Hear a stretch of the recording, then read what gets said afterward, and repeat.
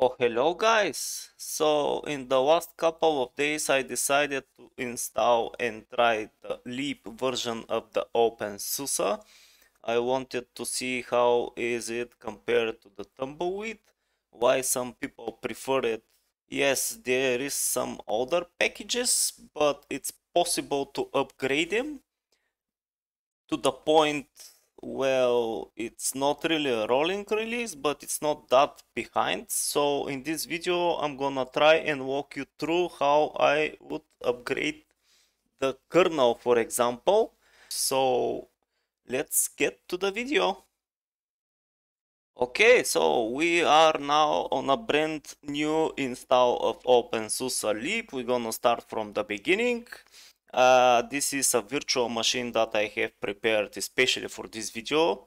I've been doing some tests for the couple of days. I've been trying some different things, how to install the newer kernel or basically this is the one that I found it's easier and better.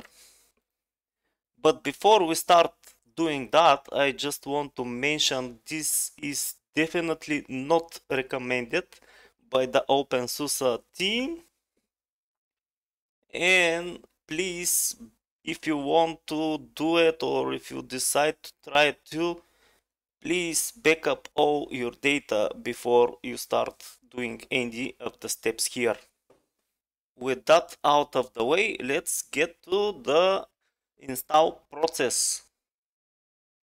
First, I would recommend just go to the terminal and just run the update. Sudo zypper update it's the command that you need. Put down your password. You should have no any updates available right now but we'll see.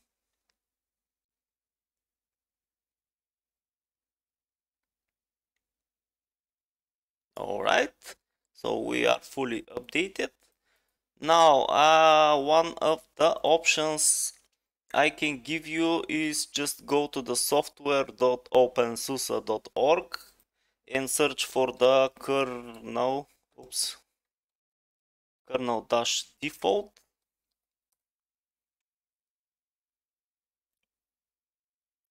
This is the one that you need. Just open it and you have all these different options we are talking about the latest version of OpenSUSE Leap. This is the 15.5. Just click on the show community packages. Now you have all these different versions of the kernel that you may want to try. It's pretty easy to do, just it's as it says here one click install just click here and follow the instructions. It's gonna open the Yast software manager. And that's okay. If you wanna do that that's okay. Uh, there is another documentation pretty good and easy written. This is the official documentation of OpenSUSE.org I'm gonna leave everything in this video in the description down below. If you wanna try it yourself you can go through all this but basically it's what it says. First you need to enable the multi-version kernels. How you do that is just open following sudo nano yes again i'm using nano in this video. If you want to use vim that's okay with me. It's located it's it's located in etsy zypp and the file we need it's zypp.conf just hit enter this is the configuration for, for zypper uh, I think the one we need it's all the way on the bottom. Just follow it.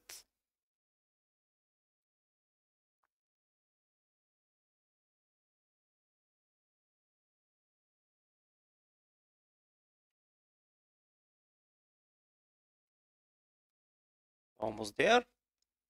Yeah it's a pretty big file. So this is the one we need. If it's commented out, just uncomment it. You need the multi-version, provides multi-version kernels.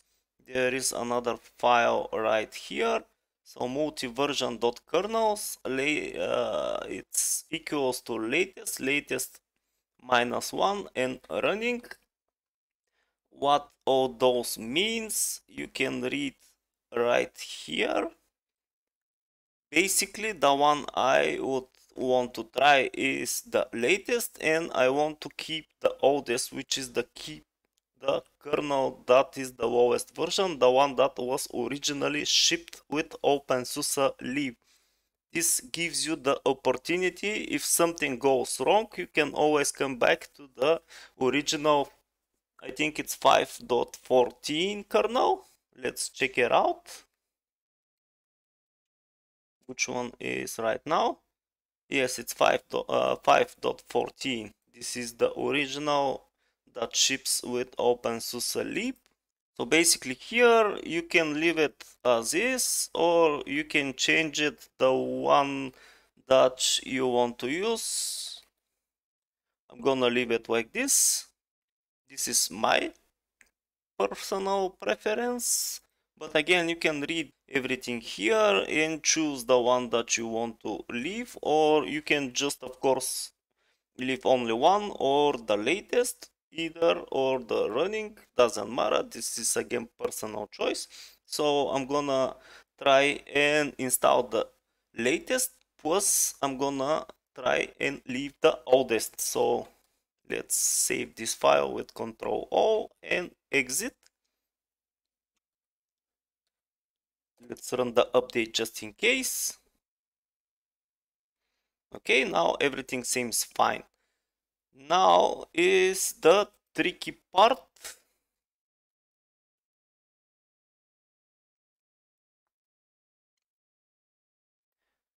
In this, they do recommend checking out all the available kernels here. We can do that. Let's go. We need sudo for this it's gonna take a couple seconds to load the repository. Now you have all the available kernels right now. Wow, that's a huge list, isn't it? So depending of what you want to do, if you want the latest, it should be somewhere on the top or it's not going to be here at all. So anyway, they have another thing that they do recommend here is installing the latest kernel version from the repository kernel head but they have a pretty big warning here that kernel head may break the system. So I again I've been doing some tests and the one that usually works the best for this is installing the stable backported version which you can find in this page here the Rockstor. This guy or these guys explain it pretty well. Again i'm gonna leave the page in the description down below. So basically you need this repository here. Come on. The kernel stable backport. This is all you need to do and this is the one i'm gonna install in this video. You can read everything here. It's pretty well written. It's pretty good. But let's go and install the backported repo. Now as you can see it's already installed. Now everything you need to do right now is import the keys for this repo again you need sudo privilege this may take a few seconds. Alright, and we are done. Now, the fun part. You can update the system with the extra no recommends allow vendor change. This is because we allowed the backports. Basically, this is the software that comes with the tumbleweed mostly let's go ahead and do that.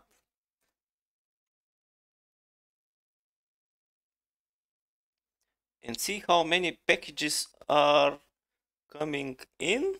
This is all kernels. And the kernel that's currently available it's 6.6.3 which I think it's the latest that it's running on the OpenSUSE Tumbleweed. So this may take a couple of minutes, be patient and wait for it. Now, while we are waiting for this, I know many people may ask why the hell would you do that? Why just don't use the tumbleweed, plain and simple? Yes, partly I agree with you, but some people just don't want to deal with so many updates almost every day. They just want to update every now and then. Plus, they may not have the good internet connection to update daily. And some people just prefer to use the stable version of the distro. They don't wanna play with something like rolling release. They don't want to do that. They just want to set up their system once and for all and use it as is. This is pretty good example for this, like a leap version. Just if you have a newer hardware, the leap version might not be the best idea that's why I'm showing you that you have other options. Just enable the backported repo, install the newer kernel for the newer hardware versions if you have, and you can still run the leap version with your newer hardware. And this might be the perfect balance between rolling release and stable really old packages versions but well again this is personal choice. Nobody makes you do anything on linux. So if you want to do rolling release yes you can do that. If you want to do the leap that's okay too. If you want to play with your system that's all you have the opportunity to do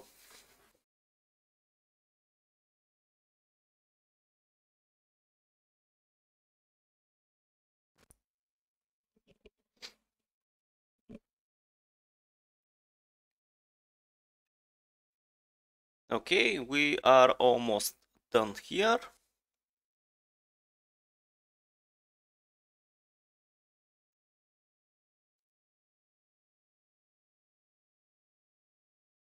Alright, and the update it's already finished. Now I do recommend you to run the dracut dash f command. What does that do?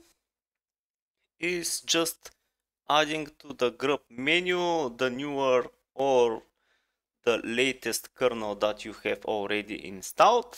Now, if everything is fine, we have available the latest kernel. Now, you have another option. Go to the software management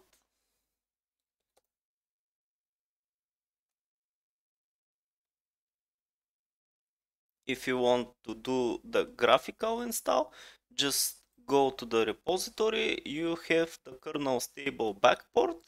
Just come here come to the kernel default down here on the versions click here and you can select or unselect the available kernels the one that you want to install. In my case i want both of them let's see how that's gonna go but anyway let's reboot and see what we did.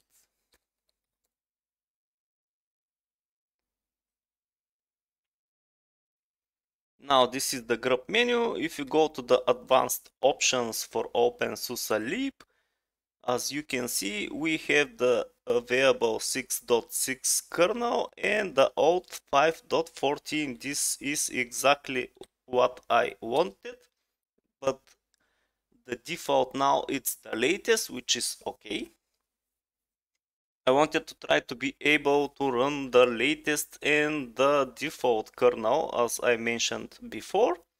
This is because I really like the stability of OpenSUSE and I don't really mind the older packages but in some cases for example gaming the newer packages and especially the newer kernel helps a lot for gaming I don't exactly sure how I don't have the statistics for that but it's pretty obvious when I run the newer hardware, uh, the newer kernel and the older kernel.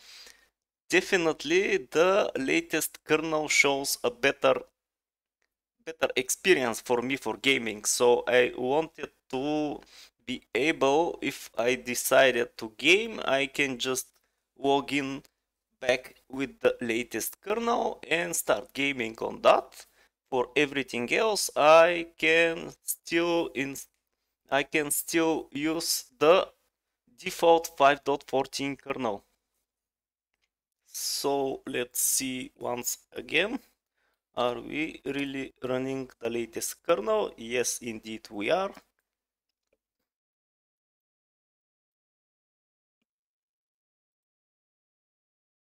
So it's not that hard to do. As you can see you have uh, multiple options. You can do your own research about how you do that.